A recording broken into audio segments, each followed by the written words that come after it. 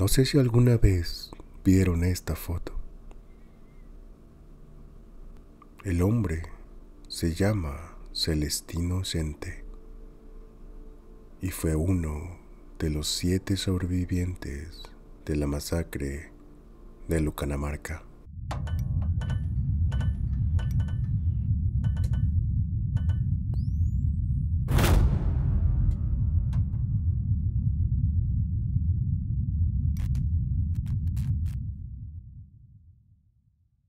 El 3 de abril de 1983, 60 militantes de Sendero Luminoso tenía órdenes específicas de tomar venganza por la muerte de uno de sus camaradas a manos de las rondas campesinas en Huancazancos, Ayacucho. Esa tarde, 69 personas fueron asesinadas a machete, hachas y quemados vivos. Esa tarde, Sendero no respetó mujer, niño o anciano, con el pretexto de imponer una sanción ejemplar. O estás con ellos o en contra. Celestino era un campesino de Huancazancos.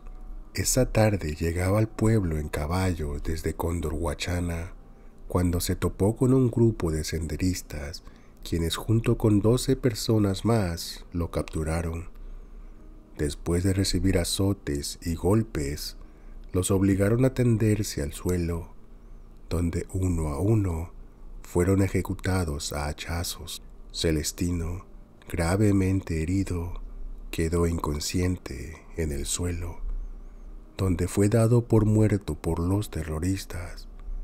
Pero las ganas de vivir de este hombre valiente fueron más fuertes, pudiendo escapar y recibir asistencia médica en Huancazancos. Debido a sus heridas, fue trasladado rápidamente al hospital de Ayacucho y allí fue tomada la foto que les enseñé al principio. Aunque su nombre real era Celestino Sente, al preguntarle su nombre, este dijo que se llamaba Edmundo Camana cambió su nombre por miedo a que los senderistas lo volvieran a capturar. La foto se hizo famosa y fue emblema de varias exposiciones sobre la matanza de Lucanamarca. Después de los sucesos, Celestino desaparecería del foco de las cámaras. En el 2002, la Comisión de la Verdad y de la Reconciliación le pidió dar su testimonio de los hechos que sufrió, pero debido al trauma que aún tenía, y el desamparo de las autoridades, Celestino se negó. En el 2008, el periodista que había tomado la foto, Oscar Medrano, se propuso encontrar a Celestino y gracias a otro sobreviviente lo pudieron encontrar. Debido al trauma y la nula ayuda del Estado peruano, Celestino fue hallado viviendo en una cueva en condiciones lamentables y bastante enfermo. Un año después, se le ofrecería ser escrito en el registro de víctimas de la masacre. Fue trasladado a un hospital en Lima donde vieron sus dolencias. Pocos días después fallecería. En la única entrevista que realizó, siempre se mostró crítico a la CBR y al gobierno del momento, ya que él sabía que sus últimos días de vida fueron utilizados como una estrategia política. Si quieres saber más de la masacre de Lucanamarca, hay un video en el canal donde explico un poco más de ese trágico suceso.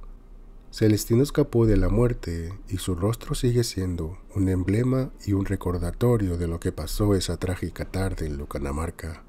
Sin duda alguna, un hombre que vio la muerte de frente y vivió para contarla, un héroe del momento que fue olvidado rápidamente por nuestro país y que solo viene a la memoria las veces que algunos grupos políticos necesitan propaganda.